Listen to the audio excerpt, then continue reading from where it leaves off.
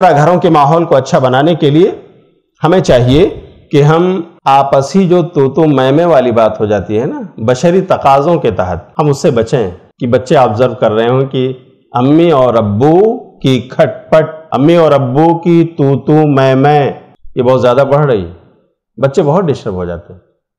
इंसान होने के नाते कभी कभार ज़िंदगी में हो सकता है अवॉइड करना चाहिए।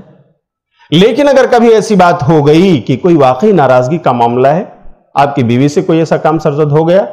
आपके किसी रिलेटिव को लेकर किसी रिश्तेदार को लेकर उसकी आ, क्या कहते हैं अभाव को लेकर या बीवी को ऐसी कोई बात लग गई जो उसे पसंद ना आई आपके ताल्लुक से आपके अखलाक के ताल्लुक से तो उसे आप अपने बेडरूम में हल कर लीजिए।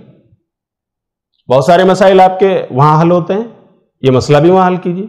बच्चों के सामने इन मसाइल को लाने से आप परहेज करें वरना वही वही तो तू मैं में, वही अनबन और वही खटपट का माहौल जो बच्चे सुबह शाम ऑब्ज़र्व करेंगे, वही खूबों उनके अंदर पैदा हो जाएगी। और अगर वो स्कूल जा रहे हैं, मदरसे जा रहे हैं तो बच्चे डिस्टर्ब रहेंगे। पता नहीं घर पे क्या हो रहा होगा। अब्बू अगर आए होंगे तो अम्मी की खैरियत नहीं होगी। बच्चों के जहन में वो स्क्रीन घूम रही होती है कि अल्लाह ना करे, अभी तो हम वहाँ हैं नहीं। हमारी अम्मी का बुरा हाल हो रहा होगा। बहुत सारे ऐसे लोग हैं जो औरतों पर बड़ी बेरहमी के साथ हाथ भी छोड़ देते हैं।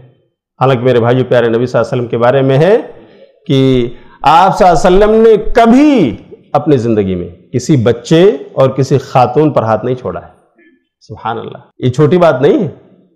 कभी किसी औरत पर, अपनी बीवियों में से अजवाज मुतहरात में से और किसी बच्चे पर आपने मारने की नीयत से हाथ नहीं छोड़ा।